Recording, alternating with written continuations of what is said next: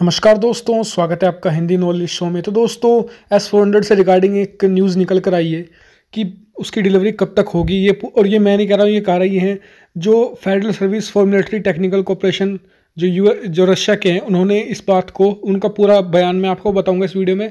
साथ ही बताऊँगा कि कितनी जो बैटरी हैं, किस हिसाब से भारत आएँगी, किस किस साल आएँगी, और कित, कब तक आएँगे, और कब इनकी शुरुआत होगी एग्जैक्ट टाइम तो चलिए दोस्तों, वीडियो को शुरू कर लेते हैं, लेकिन उससे पहले मेरी रिक्वेस्ट है कि मैं ऐसी बहुत सारी जो टेक्निकल साथी जो मिलिट्री और जो फॉरेन अफेयर्स से रिलेटेड वीडियो लेके आता रहता तो चैनल को आप सब्सक्राइब कर लीजिए ताकि आप कोई डिटेल मिस ना कर सके। तो चलिए दोस्तों वीडियो को शुरू कर लेते हैं।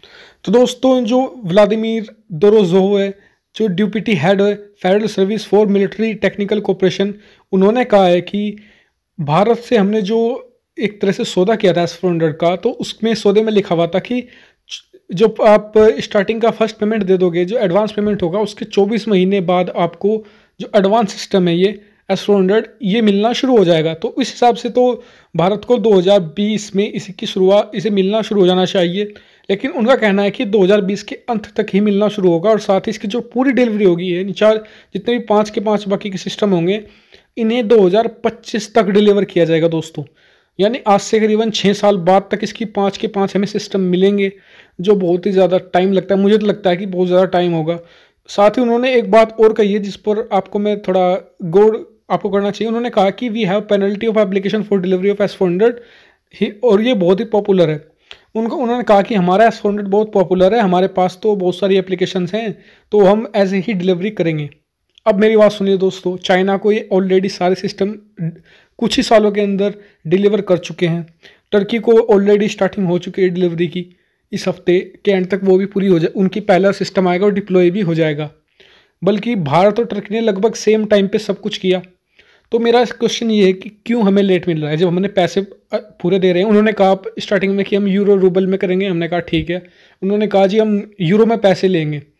तो हमने कहा ठीक है, हम यूरो में पैसे दे देंगे, आप रुपया, पहले आप रुपये और रूबल कह रहे थे। कोई बात नहीं, हम इसमें भी देने को तैयार है। इसके बावजूद हम हर तरीके से पेमेंट करने को तैयार है। उसके बावजूद भी हमें लेट सिस्टम क्यों मिल रहा है? 2025 तक तो जहाँ तक मुझे लगता है कि जो अब डिटेल निकल के आई है कि रशिया एस फाइव हंड्रेड भी बना ही लेगा उस पर भी काम जारी है। तो फिर तो उसके बाद हमें दोबारा फिर से परचेज करना होगा। क्योंकि वो तो उससे भी एडवांस होगा, इतना जो सिक्स जनरेशन फाइटर जेट जो कुछ कंट्रीज़ हैं, वो भी इस पर बहुत आगे बढ़ चुकी होंगी।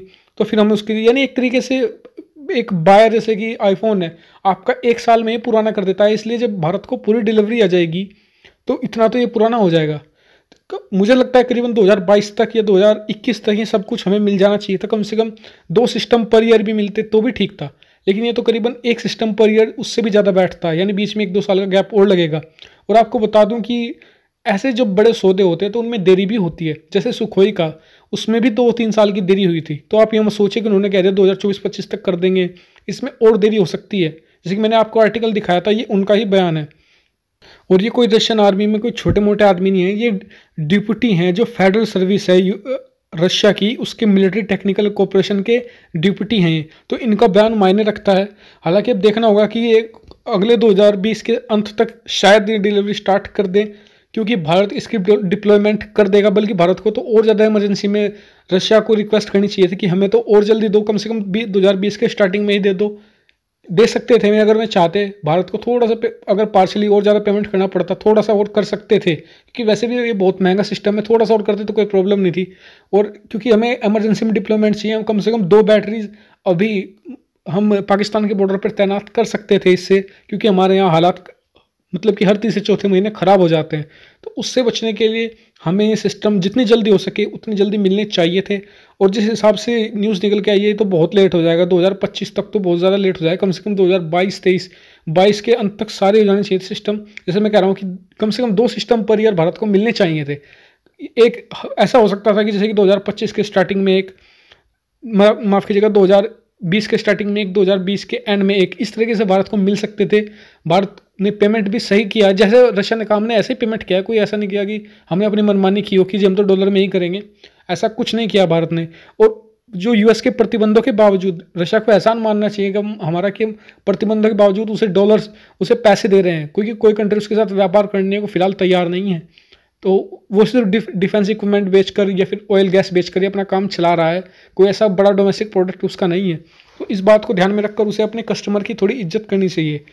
लेकिन चलिए दोस्तों दे रहा है दुरुस्त है 2020 तक भी अगर शुरू हो जाए तो ये बड़ी बात होगी। मैं चाहता हूँ कि 2000 कम से कम मिड बीस तक ये हो जाए डिलीवर, कम से कम एक सिस्टम तो हो ही जाए। तो चलिए दोस्तों, इस वीडियो में इतना ही। मैं इसकी जितनी भी डिटेल आती रहेंगी मैं आपको देता रहूँगा। तो आप चैनल को सब्सक्राइब तो कर ही रखा होगा, साथ में एक बेल आइकन उसे दबा के रखिए ताकि आपको नोटिफिकेशन मिल जाए सही समय पर, जिससे कि आपको डिटेल ना मिस कर सकें। तो फ़िलहाल अगर आप, आपका क्या कमेंट है, इसके बारे में आप कमेंट करके ज़रूर बताइएगा। वीडियो देखने के लिए आपका बहुत बहुत धन्यवाद। Thank you very much